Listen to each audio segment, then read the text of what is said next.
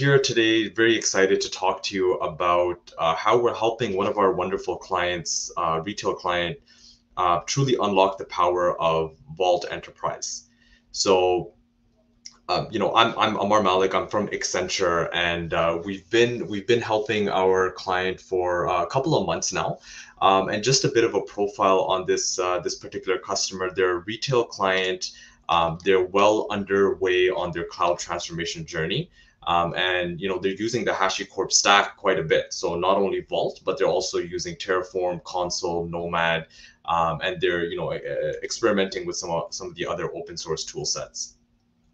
Um, in terms of their workloads, you know, it's uh, their their applications are very uh, uh, resource intensive. A lot of consumers are actually leveraging their applications from a from a client facing perspective. Uh, but in the back end, those applications are are using um, uh, open source Vault uh, to consume the secrets. And so about late, about earlier this year in the summer, the, the client had a uh, business requirement to move from the open source Vault to the enterprise uh, Vault. and that was for two primary reasons. One was they were looking for more available, high availability, as well as disaster recovery in in their service. Um, so they were using open source for uh, you know a number of months and, and even a couple of years, I would say. Um, they saw that more and more of their applications were starting to consume and leverage this central platform, which is Vault. Um, and and they realized that you know this is becoming a critical service, and so we, it's better to have high availability and disaster recovery in place. So that was that was one of the the, the business drivers to move towards enterprise vault. Um, and the other one was the the concept and a bit an ability to use uh, to use namespaces right? So so again one of the key tenets of of this particular client's cloud transformation journey was self-service and autonomy um, and so uh, you know they wanted to really unlock these two main features of enterprise vault and and uh, they engaged Accenture to help with this journey. So I'll talk a bit about I'll go in, into a bit about those business drivers uh, again DR high availability and the namespace and then I'll talk about how we help them uh, do this implementation and, and migration off of open source to enterprise fairly quick in a short time frame.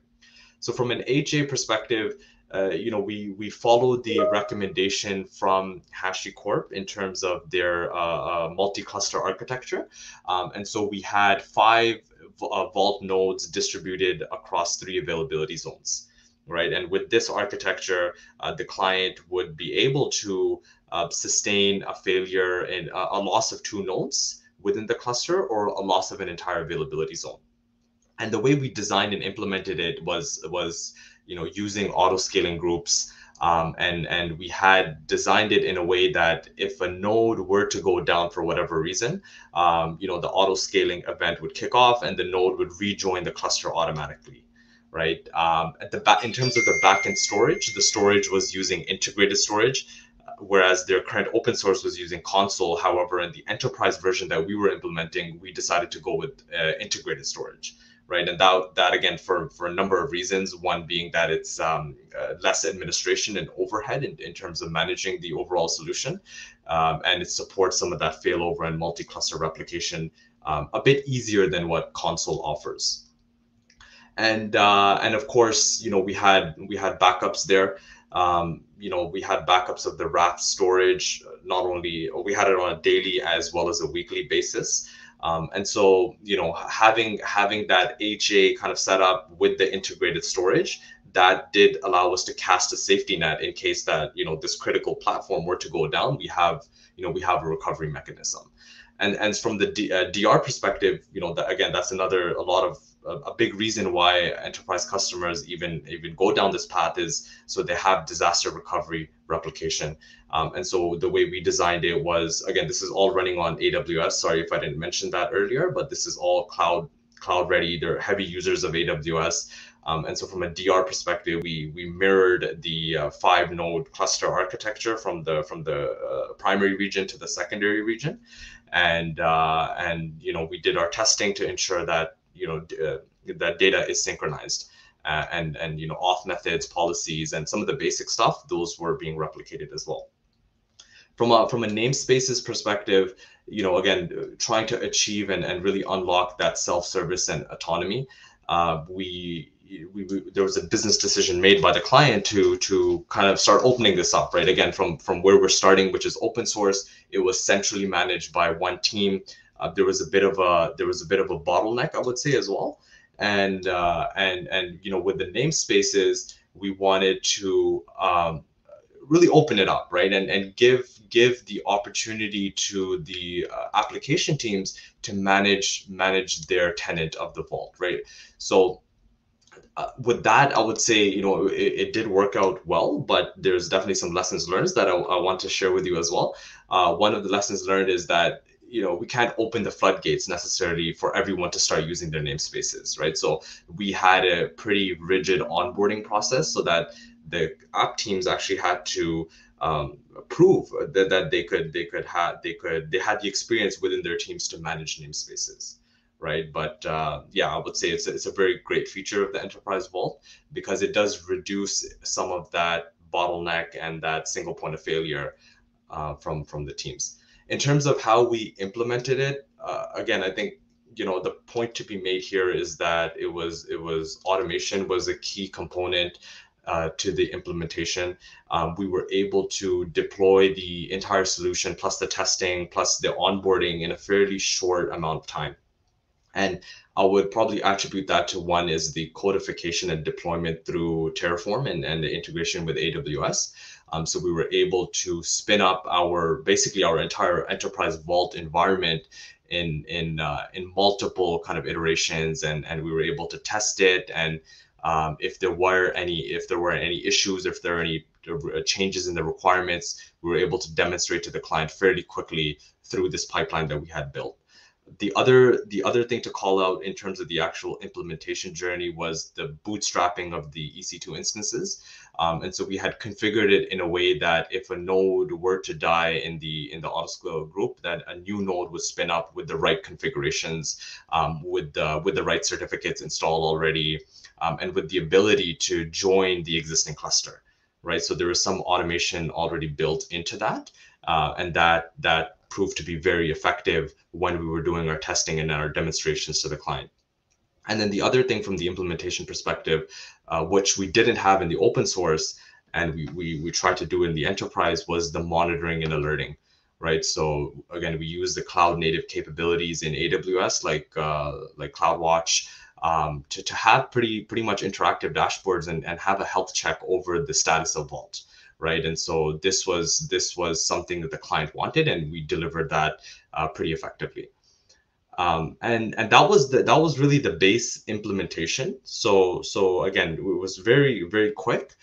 The next piece, probably the more difficult piece, was to get the uh, the end users to start using the enterprise vault right? And from there, it was you know the onboarding procedure. Uh, there was a lot of I would say curveballs in our journey to put it uh, to put it lightly, but uh, you know we had to onboard them fairly quickly. Uh, but you know it, it, was a bit of an emergency onboard. I'll, I'll, be quite quite honest there. But in terms of the migration, we were able to copy across you know, with the root token of the open source vault, we were able to copy across policies and, and key value engines. Um, and then, you know, the, the, the thing that was outstanding or where we had to interact and talk to the app teams quite a bit was for the auth methods, right? So that's that's a bit about the migration journey. Uh, I would, you know, I want to leave, I want to leave you with a couple of lessons learned here in in our engagement that we had with this uh, with this particular client. The first one is the key management right? So again, in the open source version of the Vault, you know, the client was using uh, was using Shamir secret keys, and there was multiple key shards.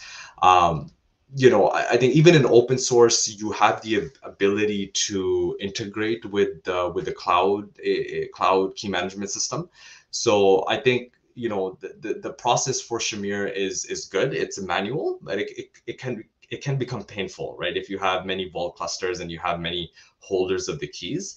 Um, and so if there's no real reason like you know that's holding you back from using auto unseal i would definitely recommend it because it just makes it so much easier right? When you want to upgrade or when you want to do a migration like like the one i just spoke about. So that's one thing i would highly encourage and recommend to use that auto unseal capability. The other one is backups right? Like again this is something that we often forget about or we don't really pay it, uh, too much attention to but make sure to validate those backups um, because you know we sometimes we think that we have the backups but they not they might not necessarily be work in working condition so uh, you know review the backup schedule make sure that your backups are there and, and they're working.